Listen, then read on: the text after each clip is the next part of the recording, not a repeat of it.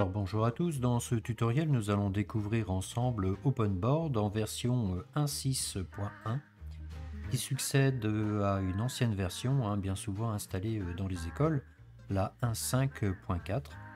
Et dans cette nouvelle version, eh bien, beaucoup d'améliorations, notamment en termes de lissage de police et en termes également d'applications qui vont vous rendre et bien, euh, bien, des, euh, bien des services. Donc pour euh, télécharger OpenBoard, vous vous rendez sur le site openboard.ch, hein, puisque ce sont nos amis suisses qui hébergent cette solution qui est, comme le rappelle le site, eh bien, open source et puis multiplateforme. Hein. donc il suffit de cliquer sur ce lien vous avez euh, les trois plateformes traditionnelles, hein, Mac, Windows et puis Linux.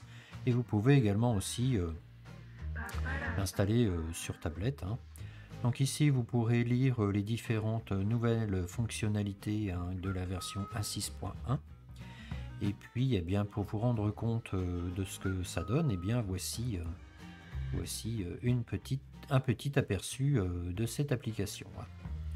Donc tout d'abord, eh bien, je vous rappelle qu'ici, hein, vous avez la possibilité de mettre euh, des fonds de tableau, hein, par exemple tableau noir, tableau quadrillé, euh, en blanc, etc. Hein.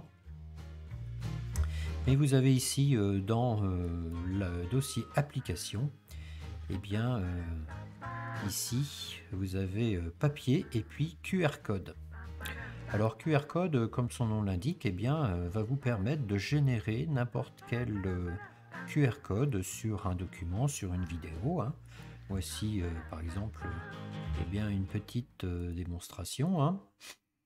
Exemple, vous voyez, j'ai euh, une vidéo par exemple sur le livret LPI. Hein. Voyez, je vais copier, je vais copier ce, lien et puis je vais le coller tout simplement ici en faisant un petit CTRL V et je coche pour générer le QR code et puis ensuite je le déplace euh, dans mon document. Hein.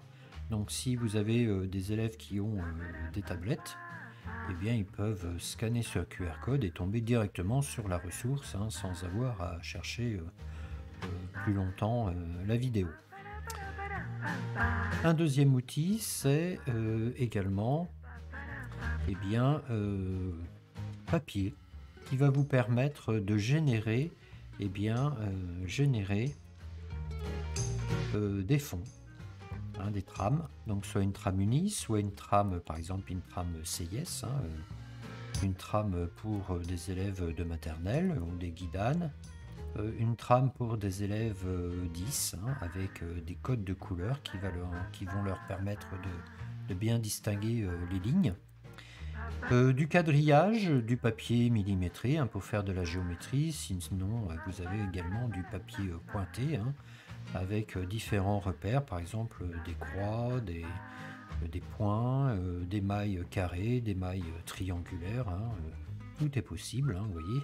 Donc une fois qu'on a choisi son document, et eh bien, vous voyez, il suffit de confirmer et vous avez une trame. Donc une fois que l'on a fini, ben, on peut supprimer l'outil. Hein, et on a une trame qui va nous permettre et eh bien, vous voyez, de faire de la géométrie. Par exemple ici, vous voyez, je vais pouvoir euh, bien dessiner euh, sur cette trame euh, bien différentes, différentes figures. Hein. Ça va me permettre par exemple voyez, de, bien, de travailler, je ne sais pas moi, par exemple, sur des triangles, sur des pavages, pour demander aux élèves, par exemple, comment on pourrait prolonger cette figure, est-ce qu'il y a des axes de symétrie, etc. Voilà, donc deux petites nouveautés dans cette euh, version 1.6.1. Euh,